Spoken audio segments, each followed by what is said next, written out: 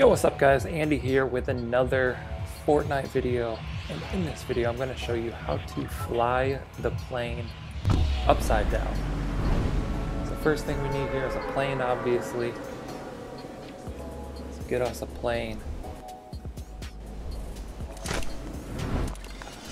What is that glitch? Alright, we got a plane right here. The next thing you want to do, get in the plane. And then you want to start flying the plane. Alright, so they have like uh, these barrel rolls, you know. For Xbox, I'm on Xbox, you tap the right bumper twice and you can do a barrel roll. So it's probably a little bit different on PC, mobile, PlayStation, whatever you're on. Basically, you can tap the left bumper twice to roll that way, tap the right bumper twice to roll that way. But basically what you want to do is hold down the right bumper, then hold down the left bumper. So you want to hold down both bumpers, and then you're flying upside down. And you can hold either one first.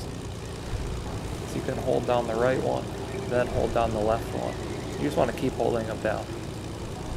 Or you can hold down the left one and then hold down the right one.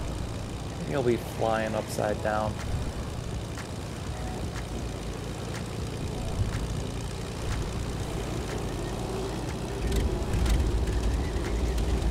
There you have it.